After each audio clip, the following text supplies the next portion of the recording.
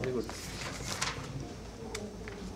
Don't forget to make a note, uh, make the notes of the points suggested by youth leader Nihal. Next, I call upon youth leader Zakir Hussain. No, no, no, please don't be wonderstruck. I mean Zakir Hussain of Jubail. Youth leader Nikhil. Please welcome a big, big round of applause.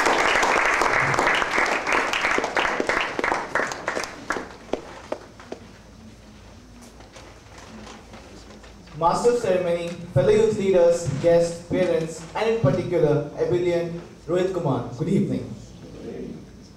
Wasn't it a fabulous job done by the youth leader Rohit Kumar?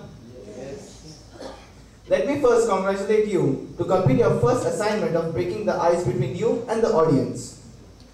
The game, the game called Life. What a wonderful title you had. I got inspired by your speech.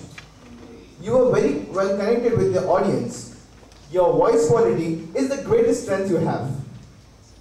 There were good body gestures, and the voice modulation was perfect. It was quite humorous where people could enjoy laughing.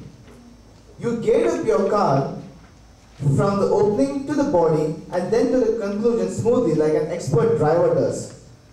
You were confident enough to tell everything that happened in your life in front of such exultant audience. You placed the characters very nicely.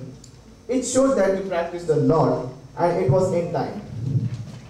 But there is always a room for improvement in all walks of life. Getting to your speech, I have a few humble recommendations from my side. You need to improve, or rather, change your facial expressions while you're expressing something, because sometimes the audience gets confused what you actually want to say.